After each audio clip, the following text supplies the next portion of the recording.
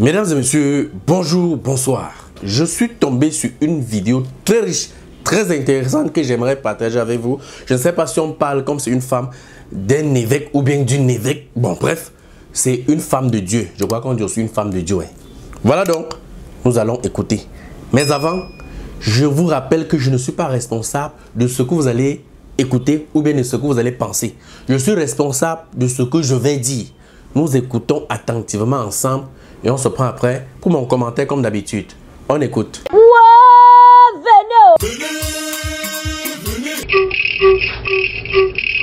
Soyez bénis. Je suis l'évêque Jonas Chantal Ayolo Gaza. Je voudrais ici que vous me convoquez parce que je me rends compte que vraiment il y a du n'importe quoi et lorsqu'on marche sur euh, les choses euh, bibliques, sur la chose divine, je suis interpellée. Maintenant, si vous voulez, vous m'écoutez, hein? Si vous voulez, vous ne m'écoutez pas. Vous savez, il y a tellement de l'orgueil sur les réseaux sociaux. Je ris parce que moi, j'ai plus de 54 ans, peut-être plus, je ne sais pas au moins. Mais vous allez voir n'importe qui euh, se mettre à parler n'importe comment aux aînés. Moi, j'ai des enfants déjà. Mon premier fils a 34, 35 ans. Vous vous rendez compte? Il a, il a 2 mètres. Il a peut-être 125 kilos. Il est devant vous comme ça, vous allez seulement pisser. Mais les gens aujourd'hui n'ont pas de, de, de, de respect pour la chose chrétienne, pour la femme de Dieu et autres, pour l'aîné. Et c'est ça que Dieu est venu gérer par Lord Kameni. Lord Kameni, c'est le suppôt qui est en train de faire exploser les derrière des gens. Vous allez seulement encaisser. Je ne m'adresse pas aux autres hiboux et le corbeau qui parle sur Facebook là. Vous, votre sort est déjà scellé. Le sort de ces gens est déjà scellé. Je vais, le Seigneur m'envoie vers deux personnes. Alors prenez vos tabourets et taguez-les et venez vous asseoir ici. Je vais commencer par tu es sûr que tu allais voir ton pasteur et tu as expliqué à ton pasteur, ton leader spirituel, parce que vous parlez trop de Dieu là. Tu as expliqué à ton, à, ton leader spirituel le phénomène Lord Kameni et il t'a encouragé pour que toi tu viennes maintenant encourager la petite... Euh, euh, je crois qu'on t'a envoyé en Europe pour aller chercher la vie, comme on dit ici au pays. Maintenant, si tu, si tu trouves les 10 francs pour compléter les fins d'année sur Facebook, reste qu'à ça. Tu es déjà Kizanga Telongoman. Qui t'a nommé chef bandit, un petit Moi, je, te parle parce que je te dis que mon fils est né à 35 ans. 2 mètres et il a 125 kilos minimum. C'est pour te dire. Moi-même, j'ai d'abord 1 mètre 78, imagine. Donc, je vais te dire, sors de ce corps. Libère. Tu mens. Pourquoi tu peux... Tu dis, oh Seigneur Jésus sang. Eh, donc tu parles de Dieu. Tu parlais de Dieu. Tu connais Dieu? Je vais donc vous raconter d'abord trois. Essayez de me répondre. Moi, ne joue pas. Tentez de me répondre. Donc, je, vous, je vais vous raconter trois histoires, mes frères et sœurs. Chacun de trouver son compte. Ma grand-mère me racontait une histoire pour me donner la sagesse. Elle m'a dit que dans un village, il y avait un grand sorcier, un grand marabout.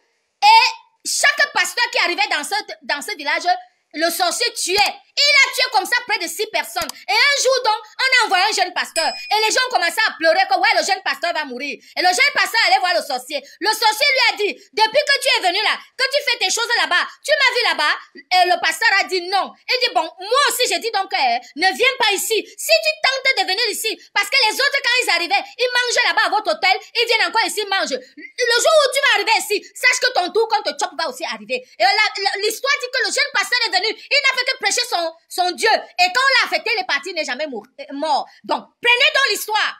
Un pasteur, bon, deuxième histoire, c'est Jean-Baptiste. Vous connaissez l'histoire de Jean-Baptiste. Il est né de Zacharie et d'Élisabeth, des parents déjà vieux. Donc il est né plus que comme miraculeux parce que l'ange a parlé à Marie et a parlé à Élisabeth. Voilà Jean-Baptiste qui est né. Il n'a jamais mangé ni le, le, sang, ni la viande, ni quoi que ce soit. Il ne mangeait, il buvait que du lait. Et après, il ne s'est jamais marié ni quoi que ce soit. Il était venu pour annoncer, préparer le terrain à Jésus-Christ. C'était ça sa mission.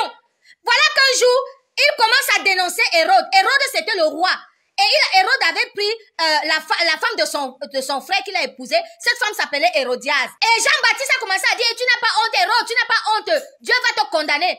Mais est-ce que Dieu l'a envoyé aller, aller, aller, aller, parler à Hérodias, à Hérode et à Hérodias? La Bible dit, vous connaissez l'histoire, que sa tête a été offerte dans un plateau par la fille d'Hérodias. Parce que Hérode s'est vengé. Hérodias s'est vengé de lui. Jésus était déjà en train de rendre ministère, puisqu'il a convoqué Jésus en prison. Quand Jésus est parti, Jésus par pudeur ne voulait pas le menacer, parce qu'il était le père du baptême de Jésus-Christ. Et il a demandé à Jésus de le libérer. Jésus ne l'a pas libéré. Jésus a prié pour lui. Il est tombé. Il a seulement euh, libéré son âme. Et, et Jean-Baptiste est mort. Pourquoi? Parce qu'il est sorti de, son réseau. Il est sorti de son carnaval. Il est sorti de sa ligne. Il est allé juger Hérodiade. Hérodiade s'est vengé. Même Dieu a regardé. Dieu n'a rien fait parce que Dieu ne l'attendait pas là-bas. Alors, il y a un autre jeune là. Le jeune Kaba, qui, qui est mort, le jeune Global. Avec, ils sont morts cinq. Avec quatre de ses amis, des frères et sœurs. Alors, qu'est-ce qui s'est passé? On dit qu'il a prié. Est-ce que sa prière pouvait soutenir ce qui lui faisait face? Alors, je veux vous dire, s'il vous, tu es en train de conduire ta petite soeur vers le suicide. L'affaire spirituelle, ça ne se passe pas comme ça. Vous n'allez pas me dire que dans un village, on te dit que voilà le sorcier qui tue les gens. Voilà le sorcier qui fait ceci. Si le sorcier agit de manière spirituelle, les règles, les, vraies, la loi dit que toi aussi tu agis de manière spirituelle. Si le sorcier vient t'attaquer physiquement, là tu peux réagir même, et même là tu n'attaques pas physiquement. L'affaire spirituelle s'attaque spirituellement.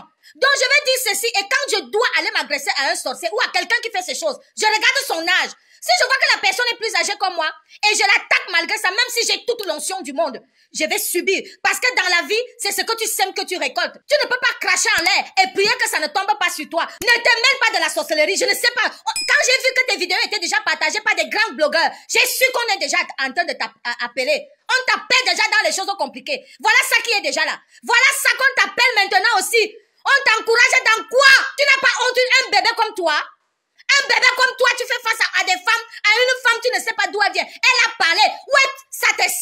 Quelqu'un porte son pantalon, ça te sert C'est ce que Dieu t'a envoyé faire sur Facebook Est-ce que tu sais que tu peux dire le sang de Jésus, tu pars Et il y a des hommes de Dieu qui se sont attaqués, qui ont essayé de délivrer des personnes et Dieu n'était pas avec eux. Et ils sont, ces hommes de Dieu sont morts. Qui t'a même dit que tu dois faire ce que tu fais là Et tu persistes parce que tu parles déjà le bon français. Tu es venu sur Facebook, ton visage était comme, la, comme le noir comme la marmite de qui Voilà que ça brille. Satan veut déjà te... Les, les, les, les, sorciers de ton village sont déjà en train de souffler ton cœur. Voilà que tu es belle. Tu commences à mettre le rouge à lèvres. Tu commences à briller. Les sorciers de ton village sont déjà en train de t'appeler. Sors de la du suicide spirituel. Tu es en train de te suicider là.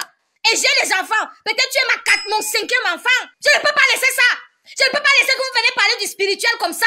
Et c'est la dernière fois que je te parle de ça. Tu as dit que tu n'enlèves pas, n'enlève pas toi-même là-bas. Dieu a dit à Adam, tu vas mourir, Adam est mort. Mais ça, Adam, c'est la mort là qui est jusqu'à aujourd'hui? S'il vous plaît, veuillez partager. Nous sommes ici pour redresser et pour élever la parole de Dieu plus haut, pour amener la sensibilisation. C'est à trop durer la bassesse et les déviances, l'impudicité, l'iniquité, l'abomination, abat toutes ces choses. Vive le Seigneur Jésus, forever.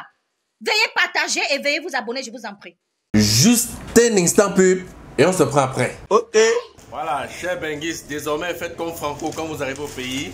Lavez vos habits chez Mr. Clean. C'est le meilleur. Ah oui, hein.